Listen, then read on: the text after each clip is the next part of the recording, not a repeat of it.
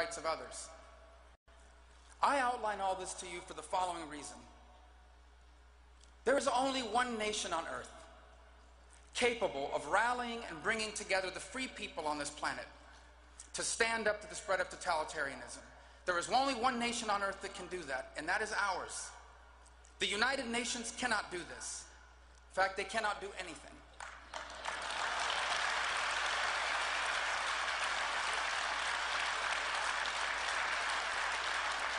That doesn't mean that we're going to be involved in 15 wars or that American foreign policy needs to involve armed conflicts on every corner of the planet. It also doesn't mean we can solve every conflict.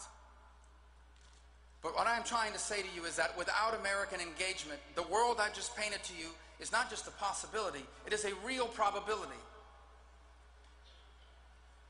And I don't like to make these issues of national security partisan because it's important that our country be united in moments like this. But we cannot ignore that the flawed foreign policy of the last few years has brought us to this stage.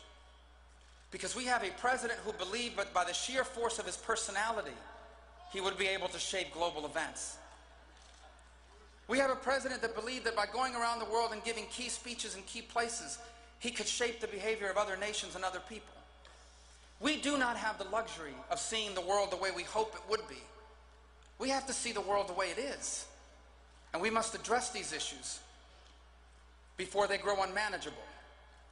And they threaten not just our freedoms, but our economy. And that is the true challenge that we have in the 21st century. And we must confront them with a seriousness of purpose that requires an American foreign policy deeply rooted in our values and in our moral principles. In the notion that every human being has rights given to them not by their governments or by their leaders, a right that's given to you by your Creator. All human beings have these rights. By the principle that any government and any leader who violates those rights is an illegitimate one. The president loves to point to Ronald Reagan and say, well, Reagan talked to Russia. Reagan talked to the Soviet Union. Why can't we talk to Iran? But there's a difference.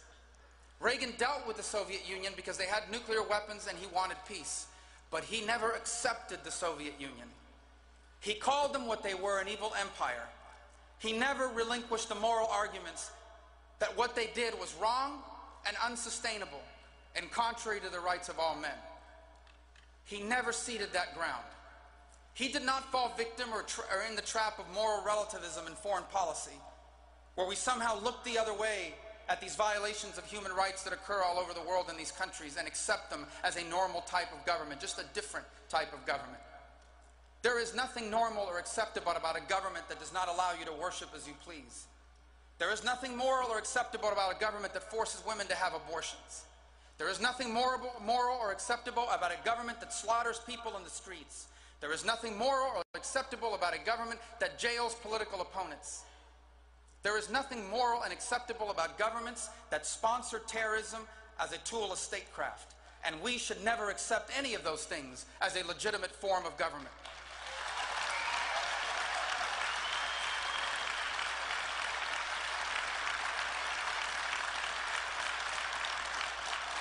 Advocate to you on both of these fronts is that America must be involved in leading the world, not in dictating to the We don't want that role. Americans have never wanted the role of telling other people what to do. And quite frankly, we would much rather just focus on our lives here and figuring out ways to do business and trade with people all over the planet in a fair way. But we cannot ignore the reality of who we are. We cannot ignore the global importance of this nation, and we cannot ignore the implications to our future if we fail to step up to this call. If you think high taxes and regulations are bad for our economy, so is global instability and the spread of totalitarianism. If you think that Obamacare is hurting our economy, it is. So is Russia controlling the South China Sea. I'm sorry, it's the China controlling the South China Sea, if in fact they ever have the ability to do that. The foreign policy issues of our time have deep economic ramifications. But in order to exert that leadership, we need leaders that understand clearly what our role in the world is in an unapologetic way. And we also need to be able to afford it, which means we have to have an economy that sustains it. And the good news is that we have everything we need to succeed economically, except the leadership in the White House. We have all the, we have been blessed by God with natural resources. We have been blessed with a hardworking and creative people. We have been blessed with a free enterprise system of government that we need to reinvigorate, not undermine. And if we do these things, we will have a strong economy that will not only sustain and provide for our people, but will make the world a safer and better place. I always close these talks by reminding people don't take for granted what we have. Don't fall into the trap that some of us do, and I count myself included, of taking for granted what we have in this country. What we have in America is the exception, not the rule in human history. Almost everyone who has ever lived on this planet didn't get to choose their leaders. And they didn't get to choose their life either. You were stuck doing whatever your family and your parents were stuck doing before you. What made us as exceptional and different is that here truly anyone from anywhere could accomplish anything. And if we lose that, it is so difficult to recapture it. And that's something worth fighting for. Every time I talk about how special America is, some commentator, whoever it may be, will roll their eyes and say, well, that's just something Americans tell each other to make themselves feel good. You have the right to believe that. I don't have that option because I've seen it with my own eyes.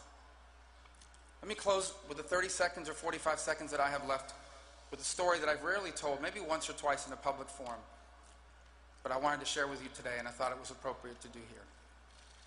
When I was running against Charlie Crist near the end of that campaign, my dad was diagnosed and with cancer. He was very sick. I reached the primary. I had, a, even though he switched parties, as you recall, he was an independent. Now he's a Democrat. He's running out of parties. I had a primary. It wasn't very competitive, but I had a primary. My dad at that point was nearing the end of his life. I remember going by to see him that day. I was going to win the primary. And my nephew answered the door with a big smile. I said, What are you smiling about? I said, Come in and you'll see. My dad had not been out of bed for a month and a half. He was fully dressed, sitting in a wheelchair because no matter how bad he felt, that night he was going to go to my victory party. Unfortunately, that night, by the end of the night, he was too tired and he couldn't make it. And I thought about it, especially after he passed. Why was that so important for him? The normal answer is that was your dad. He was proud of what you had achieved. But I realized it was so much more. You see, my dad, at nine years of age, his mother died and he had to go to work and he worked for 70 years. He struggled. He never made a lot of money. He was never rich. He was never famous. And I'm sure that in his darkest and most discouraging days, he wondered what his life was all about. You know what gave his life purpose and meaning?